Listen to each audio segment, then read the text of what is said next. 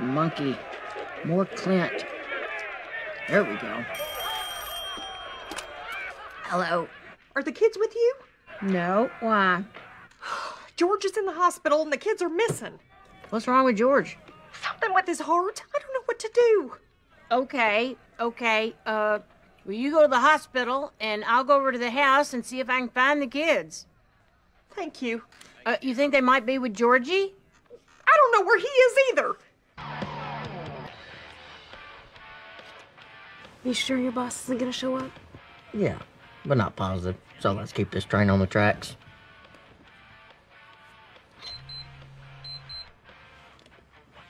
Aren't you gonna check that? Nope, But what if it's an emergency? let's not. I'm turning this off. Dead gummit. Was he gonna be okay? You know as much as I do. Now help me find the kids. I'm on it. I have an idea where they went.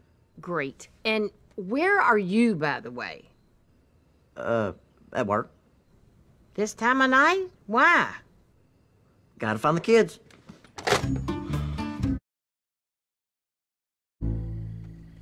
Missy! Shoot! What the hell? You scared me. You scared me. Everyone scared me. Dad's in the hospital. We gotta go. Is he okay? I don't know.